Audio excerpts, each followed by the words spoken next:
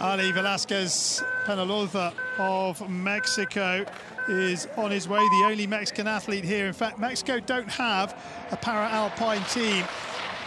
It is Velasquez Penaloza. He is his technician, his manager, his uh, PR man, and it took him 54 hours to get here.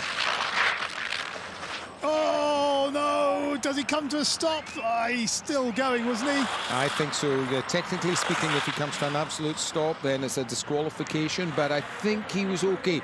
He's uh, going to make certain he's put a lot of effort no. in here. One more He's recovery. He should just be able to make. No. Oh no, he's gone now. Just one One gate, gate from home. Too Oh, no. many for uh, Velasquez Penaloza, and huge disappointment for him. He is out of the giant slalom.